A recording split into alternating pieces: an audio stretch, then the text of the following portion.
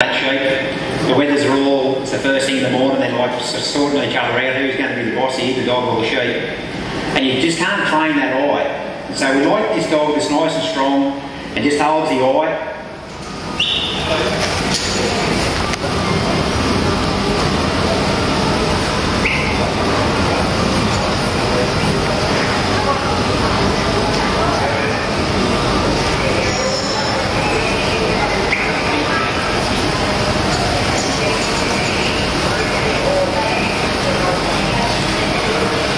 Like I said, we want nice quiet dogs. There's no point having a dog around the place that's running and jumping all over the place and chucking, knocking the sheep around because the, the very important when you handle your stock that you keep them in a nice quiet frame of mind.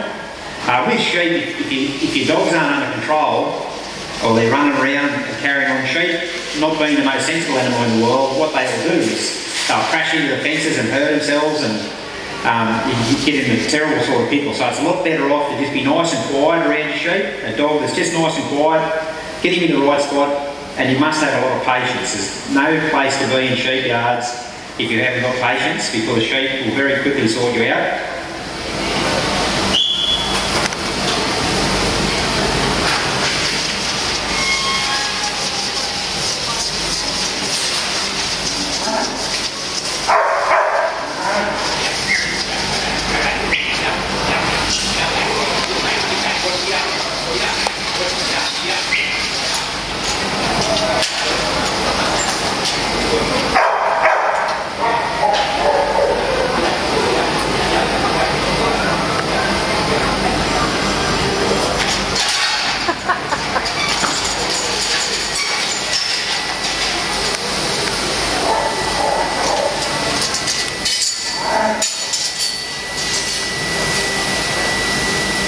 Rightio guys, so we've got our sheep up into the into the race.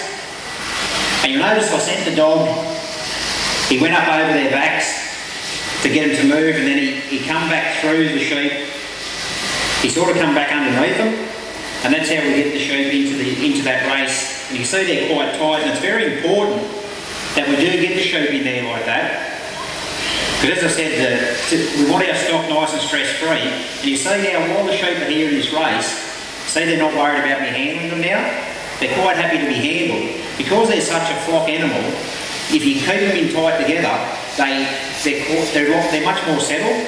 So for this, for this operation where I'm going to show you what we call drenching, and we have to do this fairly regularly. For sheep, um, sheep pick up stomach worms, and if you don't drench them out, especially if you happen to get um, Barber's pole worm, the sheep will lose condition and they will actually die from it.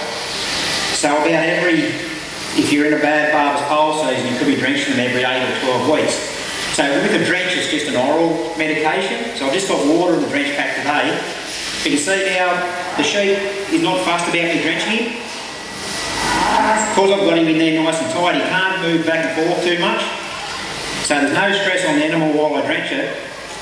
And also, there's no stress on me because if, if I've got to get in there and fight and wrestle and, and um, hold the sheep physically, it's going to knock me around pretty quick. Um, and of course, naturally, you're going to lose stuff, then you